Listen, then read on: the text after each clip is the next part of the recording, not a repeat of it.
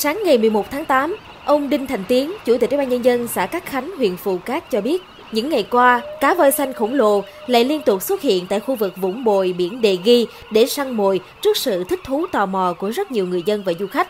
Theo ông Tiến, sau lần xuất hiện cách đây chừng nửa tháng, hai chú cá voi xanh lại xuất hiện tại khu vực biển Đề Ghi và ở lại khu vực này nhiều ngày qua.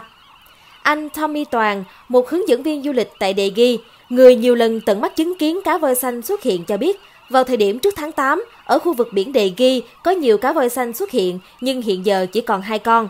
Theo anh Toàn, chúng đến đây để săn mồi vì lượng cá nhỏ ở đây khá nhiều, đa phần là cá trích, cá giò, cá cơm. Và bên trên, chim hải âu tham gia săn mồi cùng. Hai con cá voi có kích thước rất lớn, mỗi con có độ dài lần lượt khoảng 17m và 10m. Cũng theo anh Toàn, khu vực biển xuất hiện cá voi xanh còn hoang sơ và sạch. Từ cửa biển Đề Ghi đi thuyền khoảng 20 phút là tới.